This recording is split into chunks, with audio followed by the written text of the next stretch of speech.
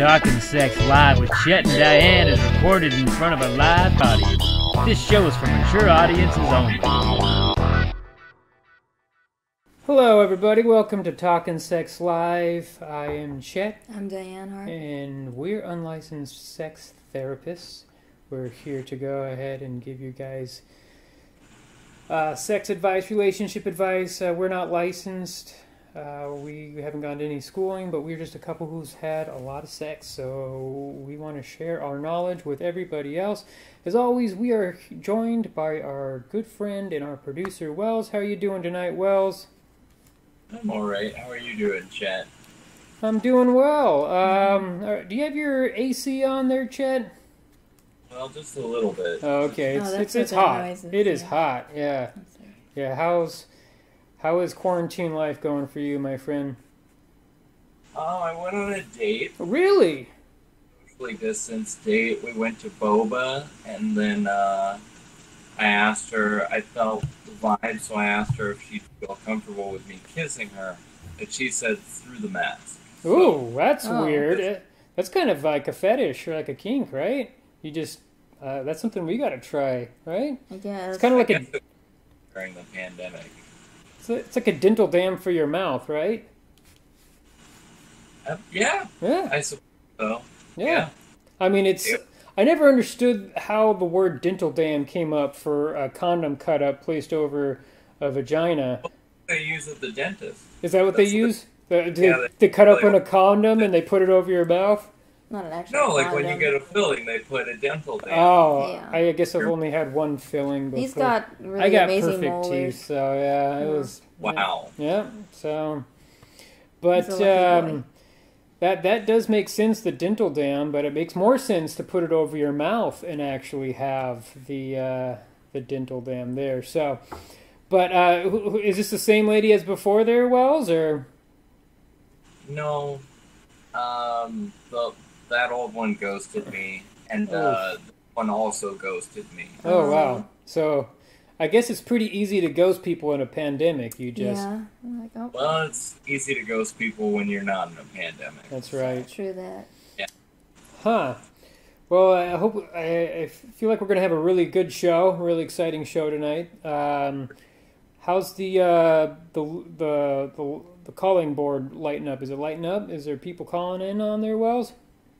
Looks like um, we have Werner, Warner, Werner. Werner? And he said partner is only aroused if an audiobook is playing, but then Werner gets caught up in the book and gets distracted from the sex. Oh wow! Wait. Oh, King, I could see it being yeah. the same thing for me. Wow! But not J.K. Rowling, because she's transphobic. Yeah, that's true. That's true. So, all right, we'll go ahead and patch uh, Werner through. Um, hopefully, that... hello, you're talking sex live with Chet and Diane. I'm Chet. I'm Diane. And how can we help you out there, friend? Hello, Chet and Diane, Ooh. and also Wow. hello to Wells, who I have also had experiences with ghosts, but Oh, it is not why I've called. I'm very.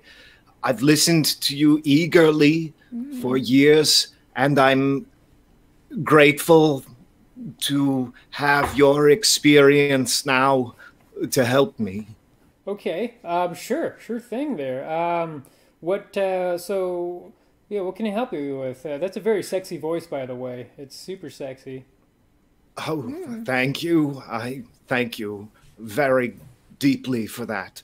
I have a sexual partner, and my sexual partner is only aroused when an audiobook is playing, and I would not have issue with that, but I find audiobooks to be a very compelling medium Oh, yeah. hmm and I find myself completely taken in by the content Of of, the course. audiobook and I'm unable to maintain An focus or an erection. That's right. Mm-hmm. Ah, wow.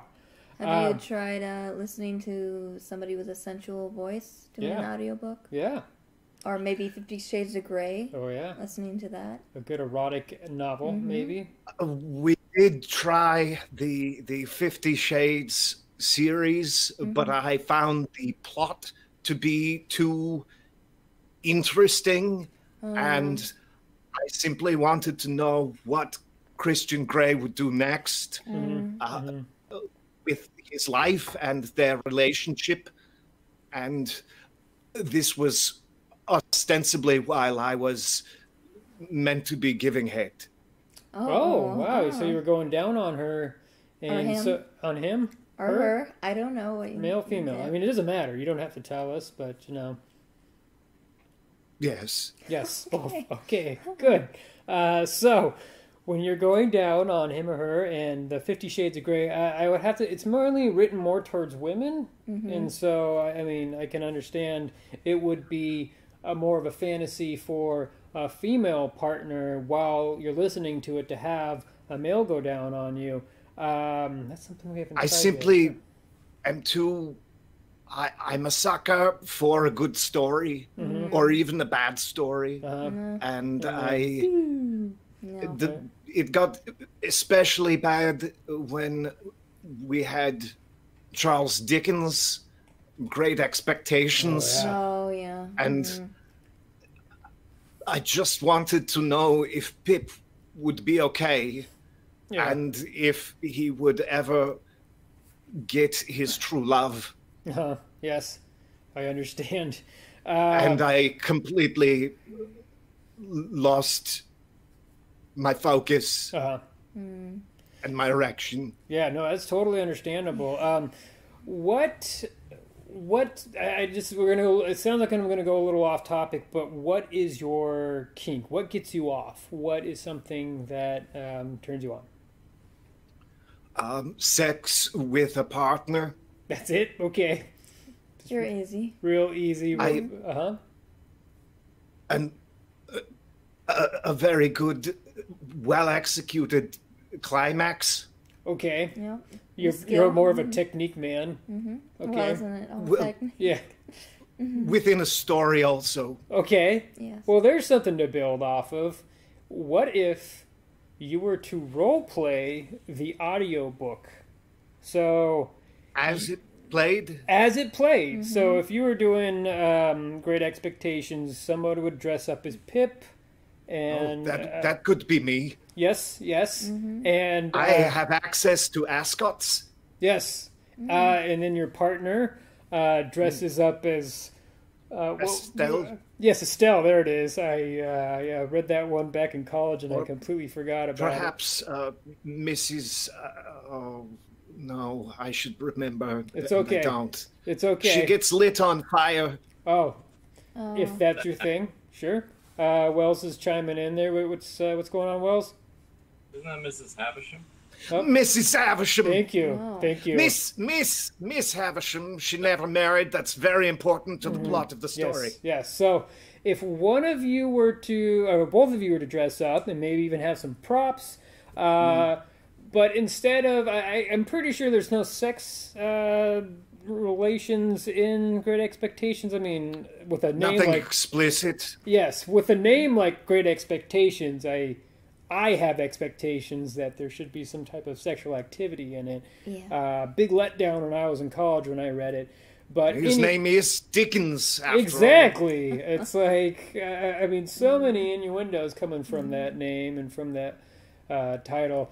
But anyway, so just take a classic part of that book and listen to it, and then twist it a little bit. So if it's something where there's two interactions between two, uh, interaction between two people, and then you start to uh, yeah, just get in the mood and start to go at it, and then maybe that will uh, have your from going like this to like that. And yeah and then you can go down on your partner give head uh, to him or her.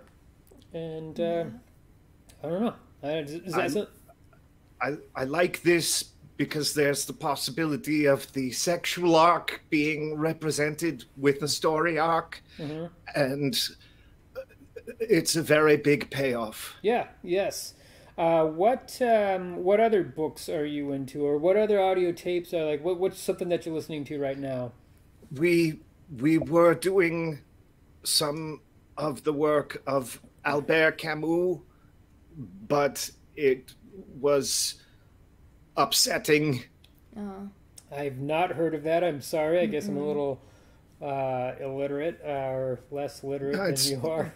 So no, it's fine. It's it's existential philosophy, and yes, it, that's a little tough with that one. Um, I got very deeply in my head. yeah, yeah, Yeah, yep. yeah. The whole, uh, um, you know, brain in a vat theory or different theories that you're just gonna blow your mind. That definitely, boop, would not actually uh, turn anybody on because you're thinking about that. But I don't know. What what are some more fiction stories that you're into?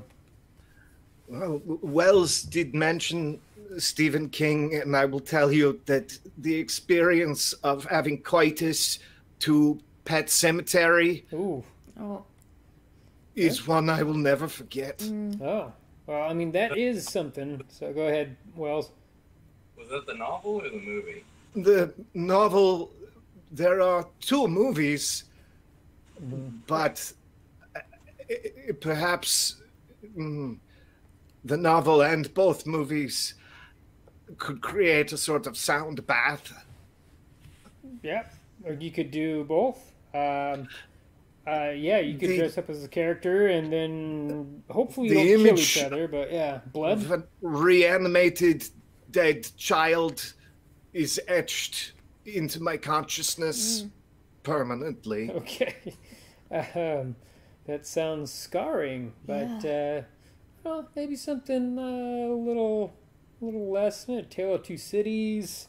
Lord of the um, Rings. Back to the Dickens. Ba- Hmm? Back to the Future. Well, what? No, you Yeah. you said Dickens. I s- well, I said Dickens. What, Diane? Lord of the Rings. Lord of the Rings. Yep. Do, uh... Oh. oh, oh, we struck a vein there. Oh no, because I had not a J.R.R. Tolkien fan. Mm. Um, no, the possibilities uh, in such an epic saga Mm. are almost infinite. Yeah, no, totally. Uh, I mean, Arwen, very beautiful. Yeah, Dress her Uh-huh. up. Uh, Yes. You could be Legolas. Um, I, I finally could. Yeah, you could be Legolas in Arwen. Legolas.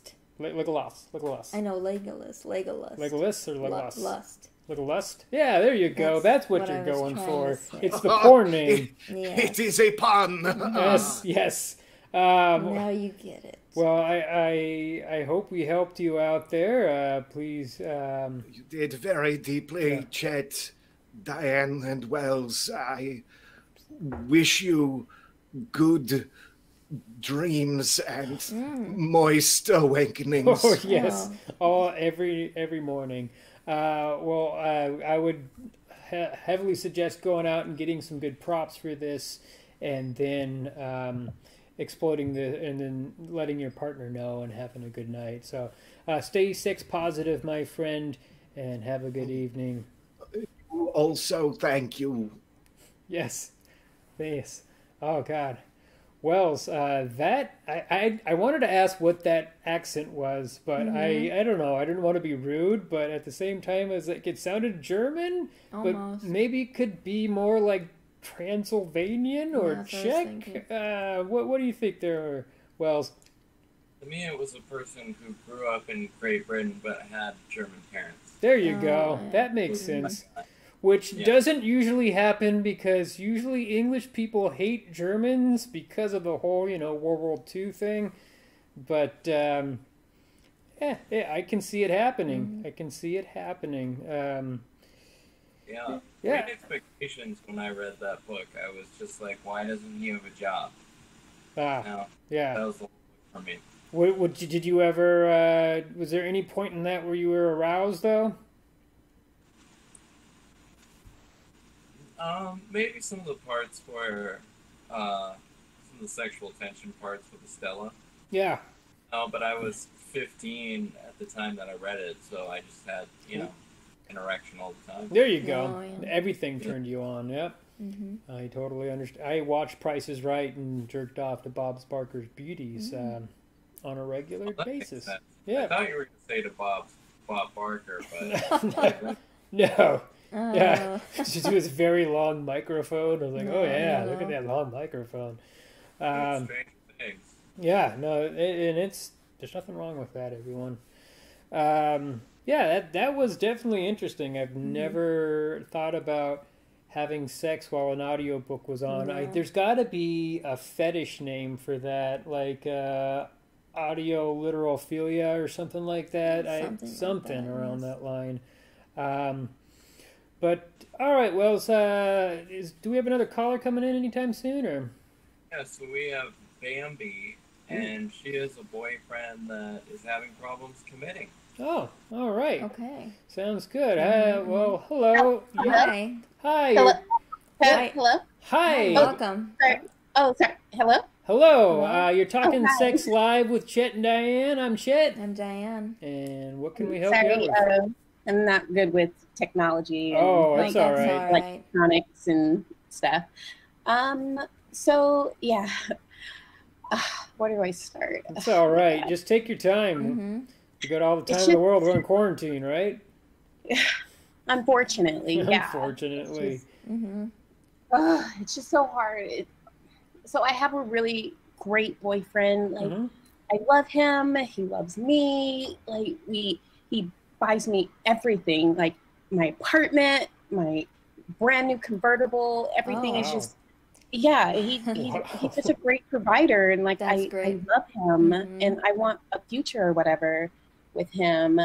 But like, it's just he's always ditching me last minute because like his wife has surgery or Wait, you- Uh, Did you say his wife had surgery? uh, what? Did, His did you say his wife had surgery?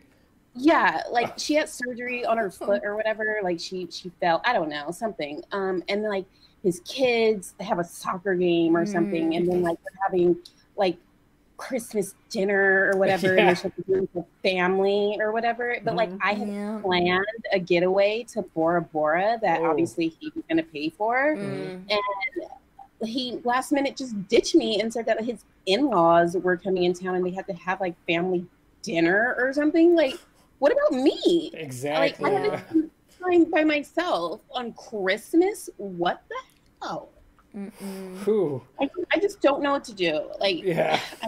I, I love him or whatever, and like, it's just, I I just can't be ditched last minute all the time. Like, it's Mhm. embarrassing. Okay. Um, we're, we're gonna take this down. We're gonna break it down beat by beat with this one. Um, so, the first question you got to ask yourself is, if he is willing to cheat on his wife with you, if you're in a situation where it's just you and him, what makes you think that he won't cheat on you? Does that make Mhm. sense? Hmm.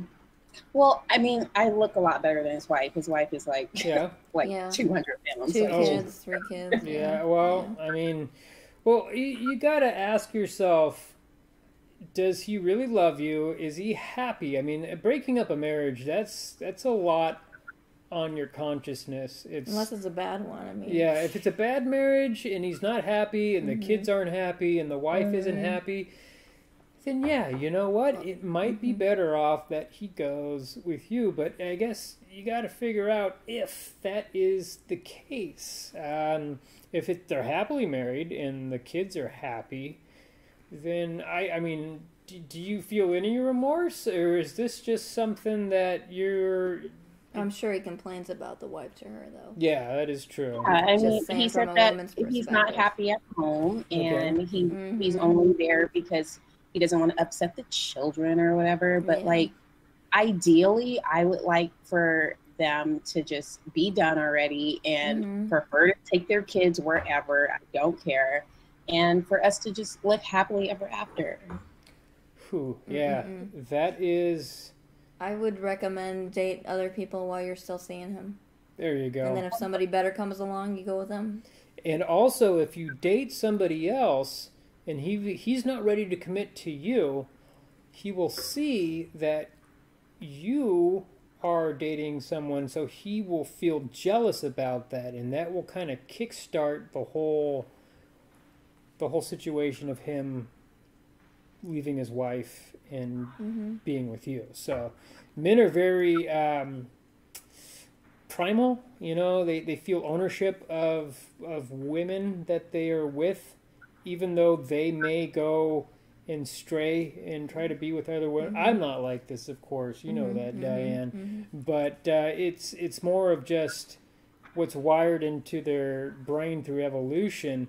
Um, so they're very uh, jealous, very very jealous when they hear of their woman being with another man. So if you were to be like, hey, you know what? If you're not ready to leave your wife, if you truly are unhappy with your relationship and with your family, then uh, I'm going to start seeing other people and uh, just see what he does. You know, if he really is into you, then I feel that he will make a move to try and be with you more and and and in things. So I, it sounds terrible, but yeah.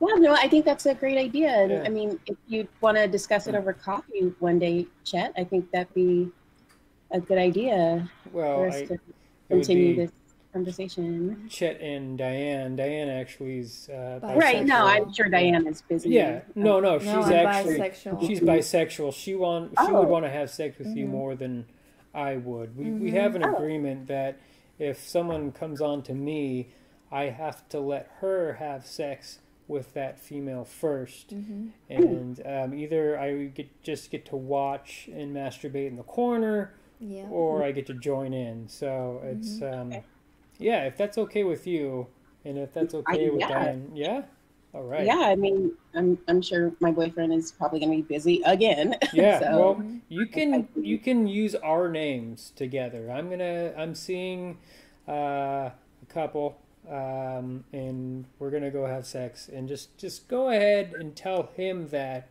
and see what he does.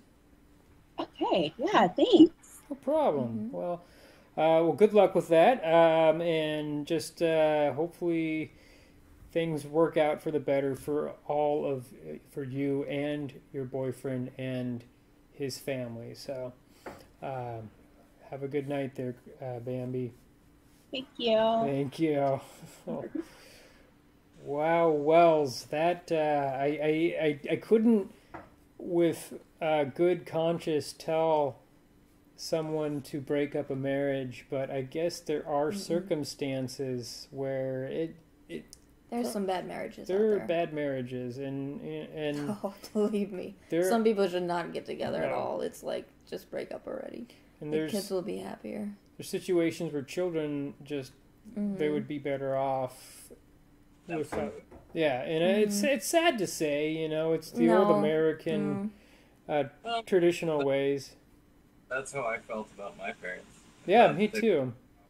But no, yeah, it didn't do any good to create a high stress, chaotic environment Yeah. by Ex- two people who didn't really love each other. Exactly. So um, it, it's hard to encourage that with people, but it's if it's, I'm fine with that. yeah, if it's the right Okay, dis- Through infidelity. Yeah, Mhm. yeah, it's it's it's a little difficult through infidelity. Uh, it's it's um, I always preach being honest and uh, uh, just being open with your partner, and that is it's that's the complete opposite.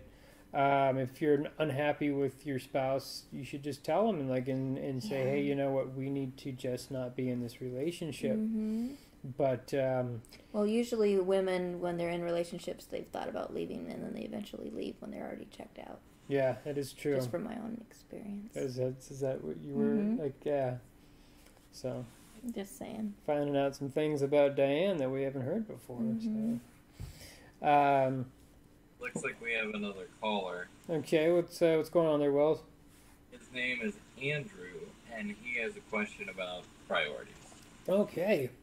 Well, um, hello, you're Choc- ugh, talking sex live with Chet and Diane. My name is Chet, I'm Diane. and Andrew. Uh, how can we help you?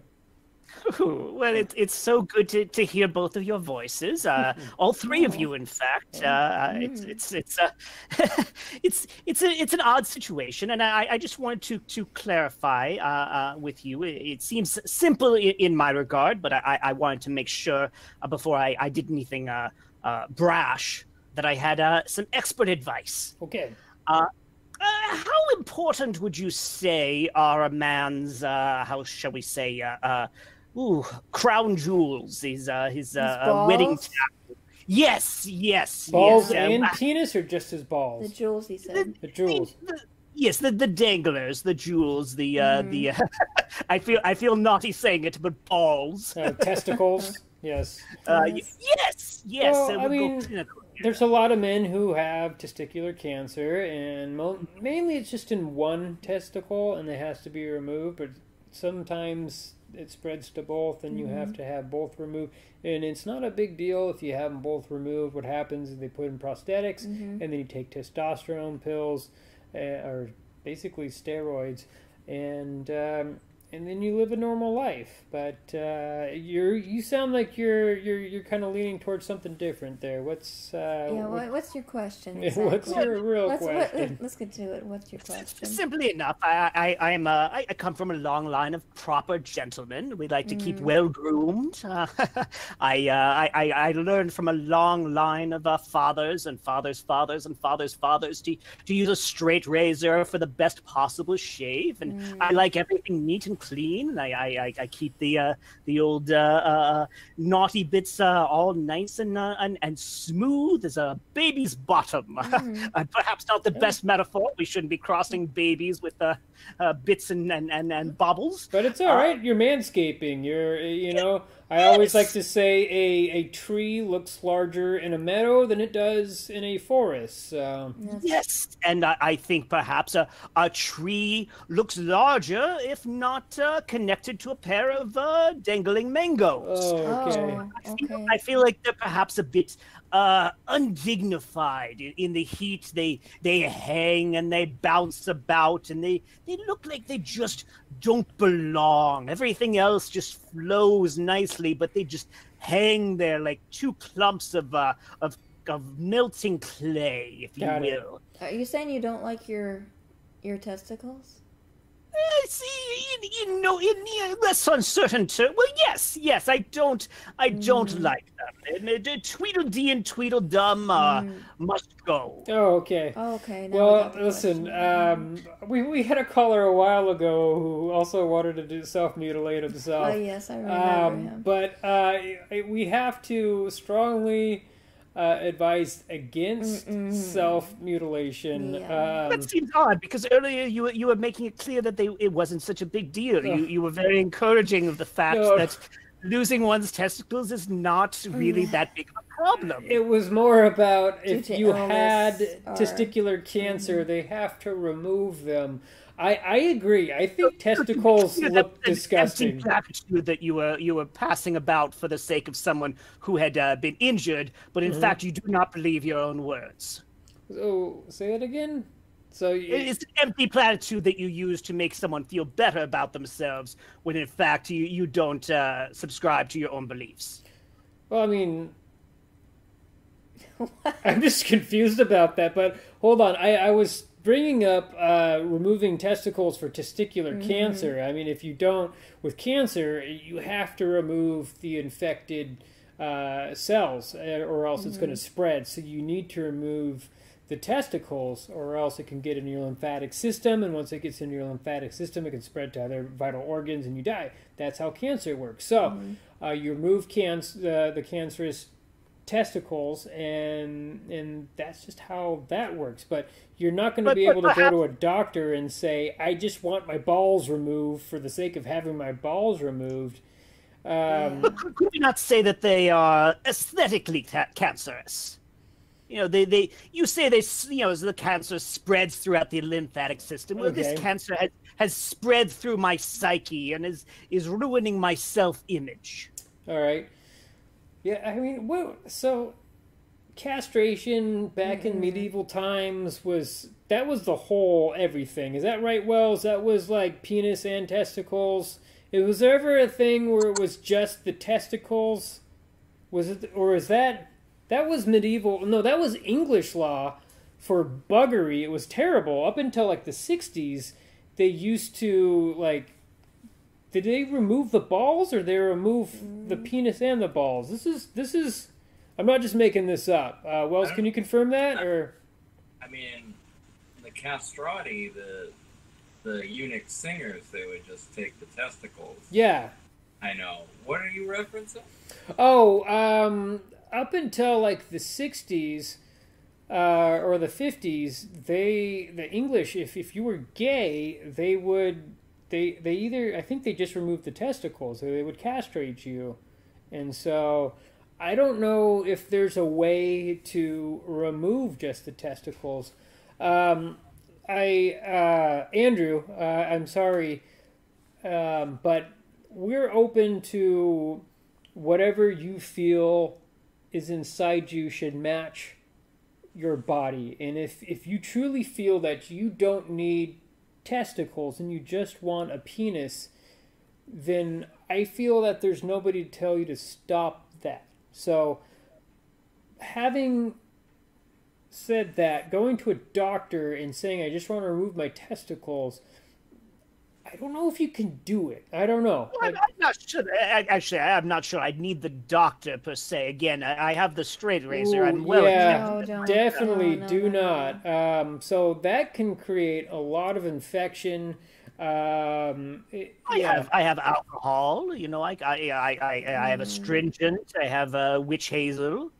No. I'm sure the Mm. combination there would would do wonders. No. Uh, well, um, I would highly suggest if you really feel that you don't need your testicles, you should go to a doctor and you should talk about this, Go to a psychologist first psychologist as well, and a therapist, and just and talk this all out. mhm. Uh, I mean, there are very open doctors out there, especially with um, transgender uh, people who don't want certain aspects of their body. There, there are females out there that feel that they're male and they don't want to go through the whole uh, the transformation, but they don't want their breasts, and so they remove their breasts, and that's that's normal. Well, that's absurd. but that's Breasts that's- are wonderful. well, for for you and I, yes, but for some people who feel they're a male and they don't want breast on them, then that is understandable. And if you also feel like that, um, and if you can go ahead and, and, and express your feelings to a doctor,